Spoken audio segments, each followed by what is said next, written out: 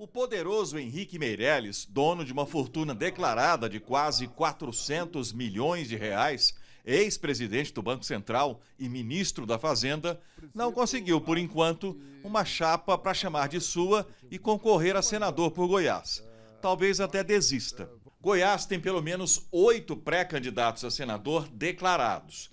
Entre eles, apenas Luiz do Carmo não tenta fazer parte da chapa do atual governador Ronaldo Caiado em tese, uma chapa forte. A história das eleições, não só no estado de Goiás, como em outros estados, é uma história que mostra com bastante clareza que as candidaturas ao Senado elas são muito ligadas à candidatura ao governo do estado. O governador puxa voto para o senador e não raro o senador puxa voto para o governador é, dependendo aí do prestígio, porque o, o, o, o, Senado é uma candidatura para o Congresso Nacional, mas o modo de se fazer, ela é uma candidatura majoritária, ela não é uma candidatura proporcional.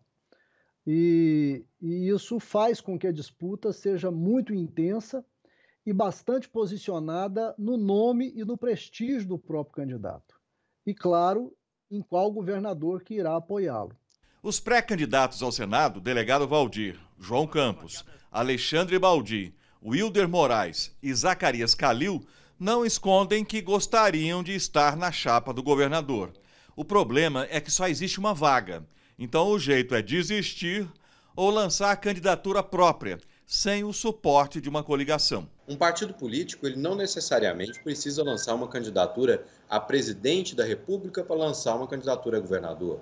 Ele pode lançar apenas uma candidatura a deputado estadual, ou a deputado federal, ou a senador, ou mesmo a governador, sem outros partidos políticos. Essa candidatura isolada, ela também pode acontecer e é ah, algo que pode ser uma realidade nessas eleições de 2022. Eu diria para você, levando em consideração essa tradição, que vai depender de quem o apoia e das coligações. Nós não temos hoje para senador, uh, e eu me arriscaria a dizer que nem o Meirelles é assim, um, uma, uma candidatura ao Senado que ela se garanta sozinha, ou que ela tenha uma, uma, uma repercussão de votos, um prestígio suficiente para não depender de uma coligação com um governador que, que seja puxador de voto. É preciso separar candidatura própria e candidatura avulsa.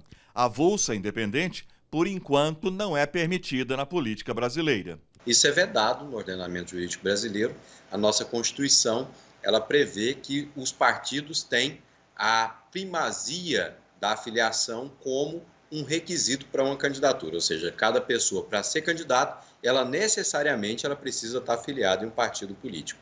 Além dos chamados partidos de esquerda que devem ter candidatos, só não anunciaram ainda, também podem concorrer o próprio Henrique Meirelles e o ex-governador Marconi Perillo. Caso ele se candidate de candidatura a candidatura, é bastante possível que ele renove essa condição de, de, de, de puxador de voto que ele sempre teve por conta do desempenho dos governos anteriores e do, e do, prestígio que ele teve. Uh, foi o governador com maior quantidade de mandatos da história do estado de Goiás. Então, Marconi Perillo é um nome forte. O Henrique Meirelles também parece ser um nome forte, pelo menos se, for, se formos considerar a cobertura de mídia que normalmente ele tem. Outra possibilidade de concorrer ao Senado seria na chapa de Gustavo Mendanha. O atual prefeito de Aparecida ainda não escolheu um partido, mas mantém a pré-candidatura a governador. E certamente terá um candidato a senador.